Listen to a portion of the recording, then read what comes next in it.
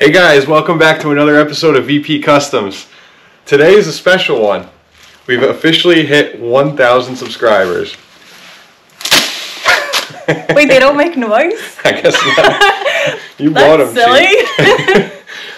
All right. And uh, well, what we're going to be doing today is we're going to be putting on uh, my front fender. We're going to be putting it back on the night train. But with a carbon wrap on it, a little twist. I'm not completely sold on the front fender still, but we'll see how this looks. But first, to one lucky subscriber, as a show, a token of our appreciation, what we're going to be doing is uh, giving away a VP Customs t-shirt. you guys can see that right here. Boom. Oh, it's nice. I'm wearing one myself. So what we're gonna do is we're gonna draw one lucky subscriber out of our hat here, and I'm gonna Mix them up good. jumble them around. Let's see. Let's see. Let's see. All right. Mix in. Anticipation, right, guys? All right. Let's see what we got here. Jeff Saba. Jeff. Saba. Congratulations, Jeff. Saba. Show Saba. name. Show him the name. Here you go. so you are our lucky winner. Thank you guys so much. Yes. And Jeff, the way you can re- redeem your shirt here is you go to VP Customs Channel at gmail.com. Right you can find the link right there, and it's also in the description. Just reach out to us, and we'll get that T-shirt to you right Give you away. another look at it. Dun dun dun. we can't thank you guys enough. Yeah, we really appreciate it. It's a lot of fun doing this with you guys. So I, I think this is something that we could potentially keep doing in the future. Yeah. You know, as we hit different milestones, we'll do different type of giveaways. So, all right. So uh, let's get started on our video today.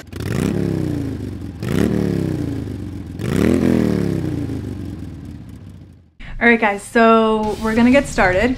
And the first thing we're gonna do is cover the fender here with the wrap. And Eric is just gonna show you a little bit about his bike really quick on just some of the carbon fiber he has. And we'll go from there and get started. Yeah, so I've already started to do like the fork tubes a little bit. I mean, it's not perfect, but it's something that you could definitely do and make it change the appearance of your bike real quick. I also did the gas cap or, or the fuel gauge up here. It's just something quick. Um, so the reason that we're, I have a fender brace on the bike right now, and it works fine. I mean, things get a little dirty, but it's not. You don't plan to ride in the rain, so I honestly don't get too dirty. It does a great job of keep of stabilizing the forks. But you know, it'd be nice to run a front fender as well too. So I'd like to have some options. So that's what we're gonna do today. We're gonna wrap it up with uh, the same style carbon. It's a black carbon fiber. You can get it right on Amazon. It's not expensive. I'll put the link in the description below. I believe it's called Vivid uh, Black 3M carbon. Figure we'll try it out on the fender and see how that works out. All right, guys. So to get started here, what we're gonna do first is we're gonna clean it off. I, I prefer to use something like Sprayway glass cleaner. It's great for stuff like this. It's cheap. And uh, what our plan here is today is we're just gonna wrap the top part of the fender. Another important tool you're gonna need for this is a heat gun. Here's that. Here's a close-up of that weave. It's nice. It's nice looking. Squeegee may help a little bit. This isn't really like a complicated uh, bends or anything like that, but it can definitely prove to be kind of difficult. It doesn't help that the garage is kind of cold right now too. It's freezing in this garage. So first we're gonna take a piece and um, she's gonna lay it, give it like a little bit of overhang. Give yourself a little room to work with. Don't have to really worry too much about the wrinkles. They will come out. Um, I'm gonna put the camera down so I can help her out a little bit here.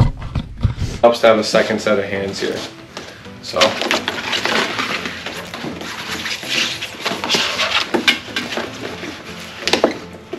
That's good right there.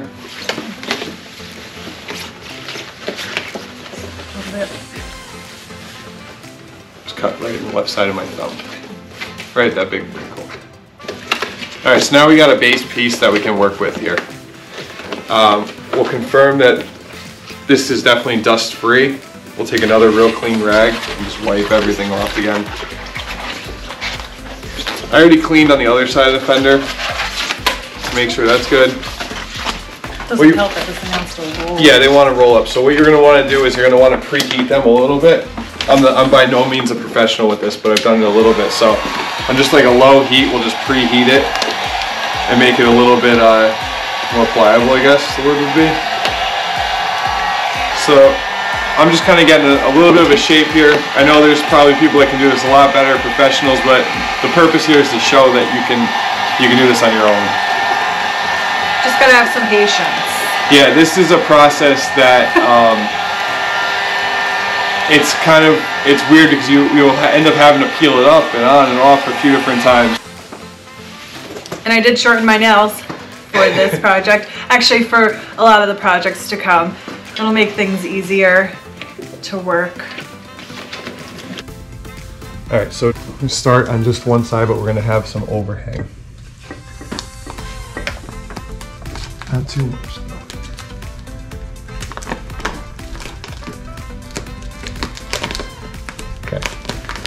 All right, so now you don't really want to worry about the wrinkles too much. But I mean, if you can avoid a little bit of them. Now we have it laid down. What we're gonna want to do here is we're just gonna start, kind of start working it. Um, as she heats it, or as I heat it, on a low heat setting from like a good distance away. I mean, what's nice about this stuff is it does kind of have a memory to it, so it can return. And you're just gonna want to like stretch and, and uh, pull back. Just we're going to start in one spot and we're just going to keep working our way until we get to the end. It's a lot of peeling up and pu- putting back down to kind of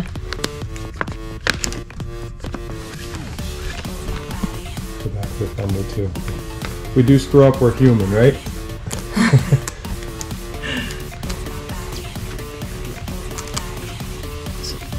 Really not as easy as As it looks on YouTube. no, this is not easy, but it is something that you can do.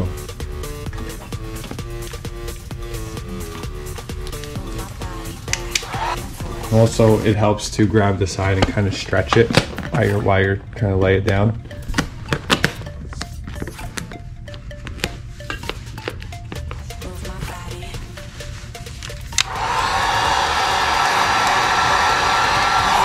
Is slow, like we said. You have to have patience with this, um, but once you kind of get on a roll, I mean, it should help out. It kind of goes against what you think that you have to do because you're taking it off, putting it back on, taking it off, putting it back on. And I'm sure there's people cringing watching us do this. We're not professionals. We're just, it's just something that I've kind of picked up a little bit on the way. Can only get better, right? only get better.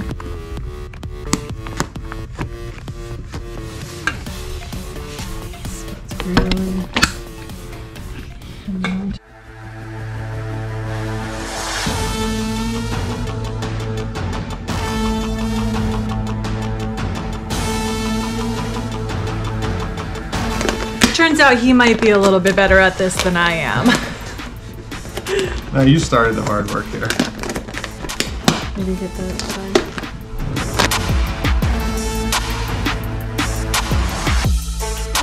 Give me a seat. No, no sitting for you. All right, let's You get work. some, get some heat in here.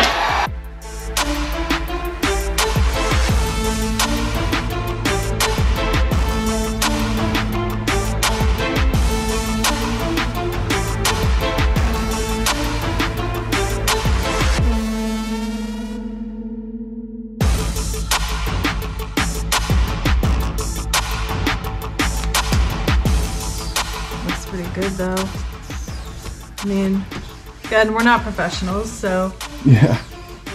and it will get damaged just as far as the fender goes. I mean, they do, they do get. It's not a permanent thing, but it's something I wanted to try out. I thought it would be different looking on the bike. We're getting there, halfway there, halfway there, maybe. oh, now you're going back on that side. Oh, Yeah, before you pull, you have to make sure the stuff's hot. Yeah.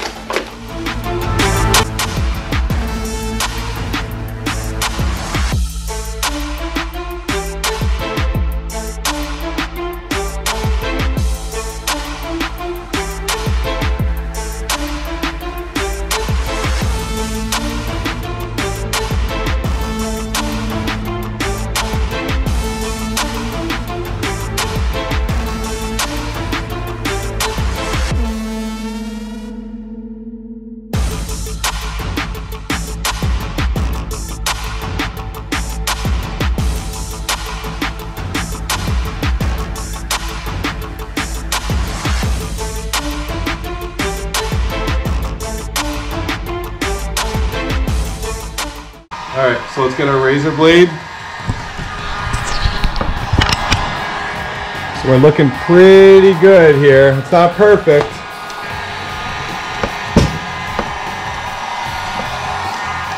The weave's pretty much straight for the most part. A little bit of stretching here and there.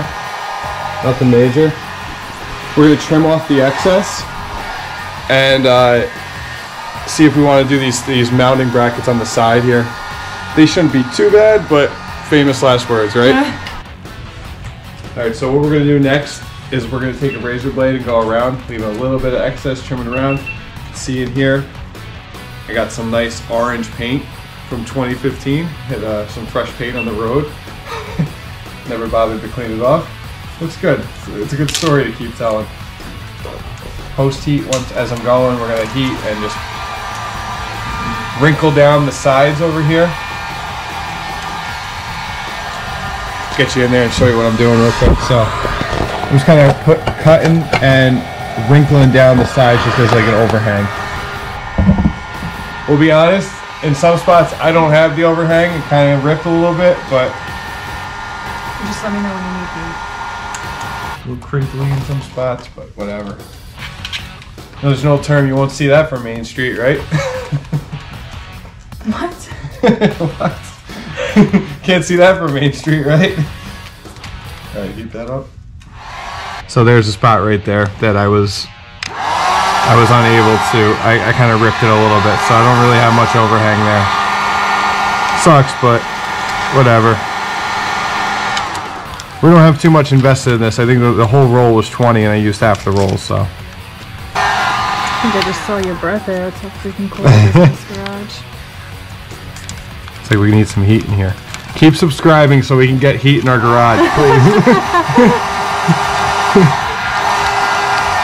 She's an excellent heater. I love heat. I'm surprised she's not blowing on her head.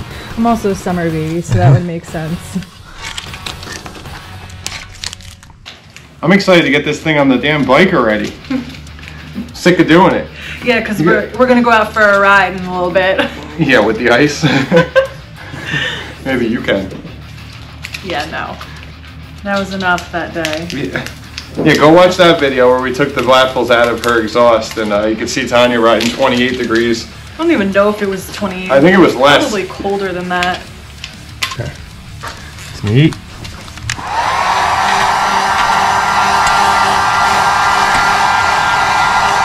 It'd help if your big fingers weren't in the way. All right, just gonna take the heat gun and go around everything again, kind of give it like a post-heat treatment, and I'll just go around and smooth all the edges out. Okay, that's your cue. My you.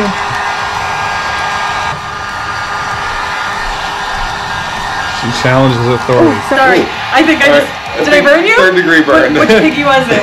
that was that one again. Yeah, that one again. Yeah. All right, let's see what this looks like. Okay. I'm excited. Yeah, I mean, it's, not perfect, It's not but perfect, you know but I'll It's- take it. I will take it. I like it.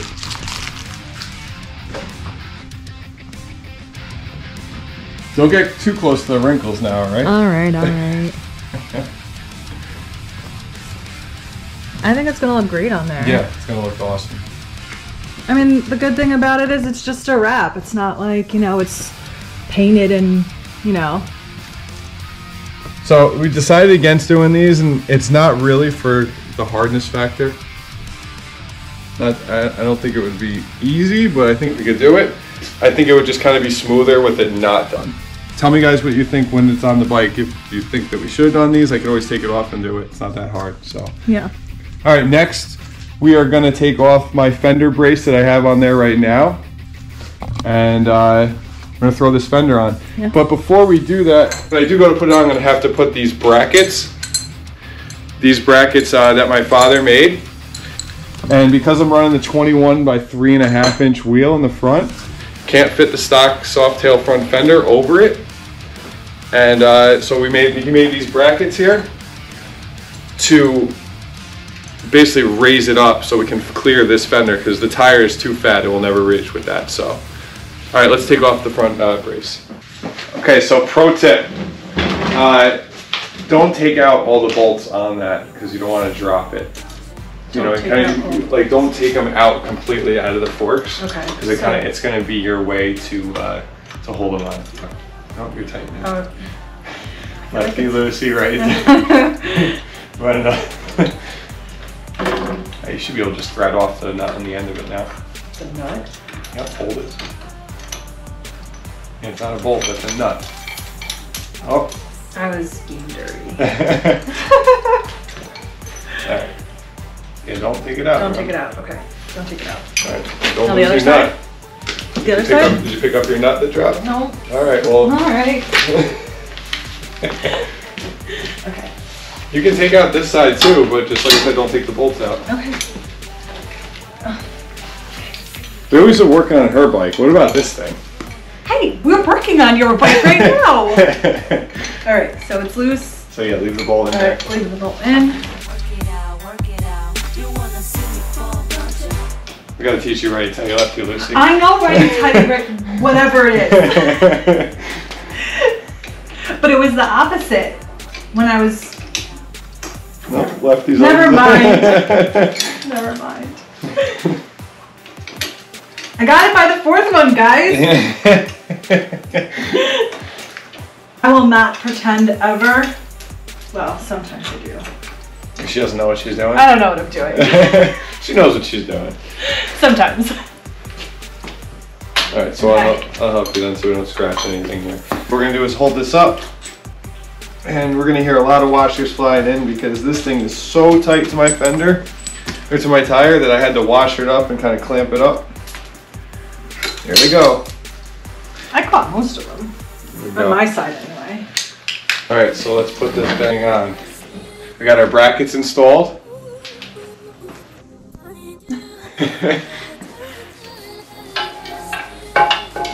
Okay, so maybe you hold it well.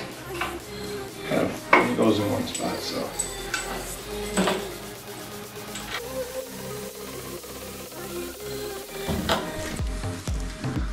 All right, so Tanya, one washer, one nut per stud. Small side out. There you go. They're locked I got nuts. They're this. locked nuts. Yeah, you got this. I actually it was just by chance that I, You got lucky. I got lucky.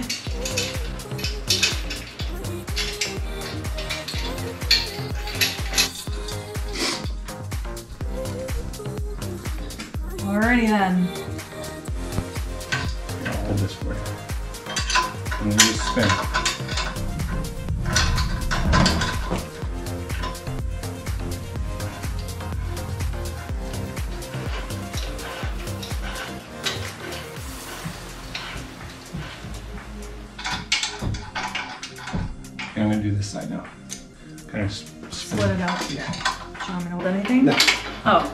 Okay.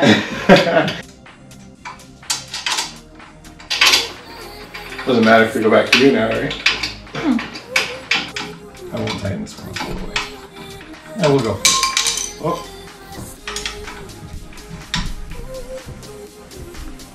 Hold it for you? No. I'm gonna do it myself now. Thank you.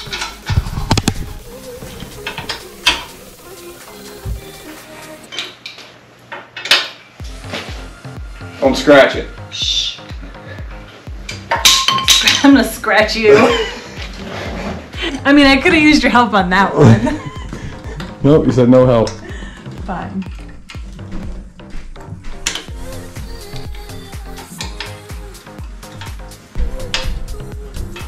Man, I'm loving the way this looks. La-di-da-di-da. I mean, eh, I'm still not sold on the big front fender thing. We might have to take off.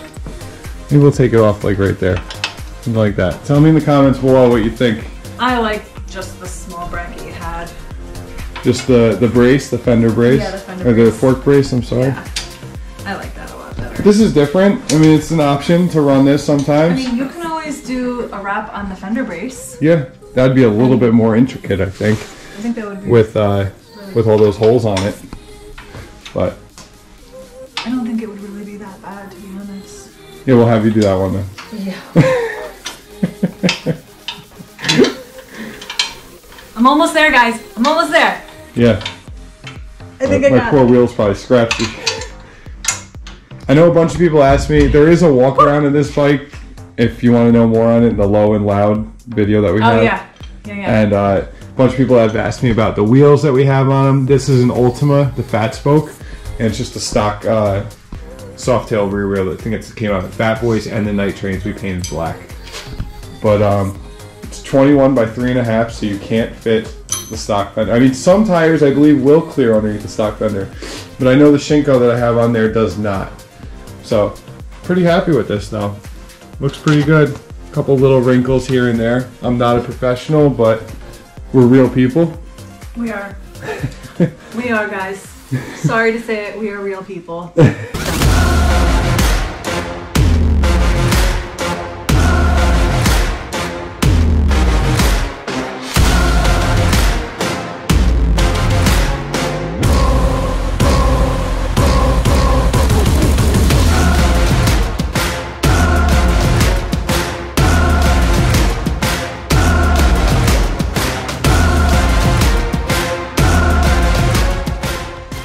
right, guys. So that wraps up our video for today. We do have a couple questions for you guys, though. So we've come on a roadblock with what bars we want to put We've? on. Yes.